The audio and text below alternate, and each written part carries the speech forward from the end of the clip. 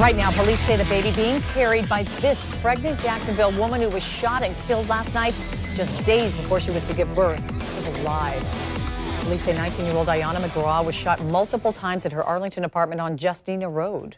The bullets were fired from outside. News 4 Jax I-Team investigator Kelly Wiley is joining us live from the scene of the city's latest homicide. Kelly, have police told you whether they believe she was the intended target of this shooting?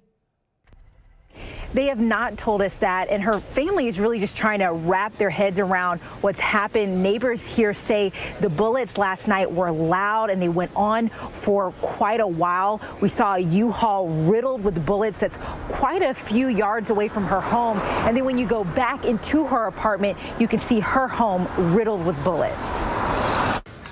The window into Ayana McGraw's apartment is shattered. Bullet holes are scattered across her door and wall.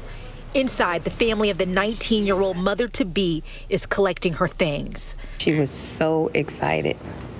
I mean, she was just filled with so much joy, something to live for.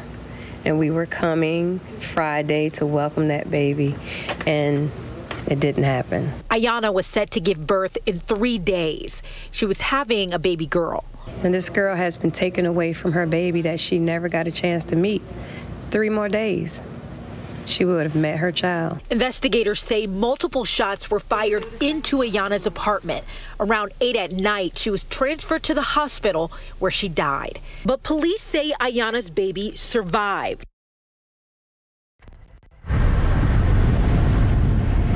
And police still haven't mentioned any kind of description for a suspect. They are asking anybody who knew Ayana, anybody who saw or heard anything last night to go ahead and get in touch with the Jacksonville Sheriff's Office. We have posted all of that information for you on news4jax.com. Reporting live in Arlington, Kelly Wiley, Channel 4, the local station.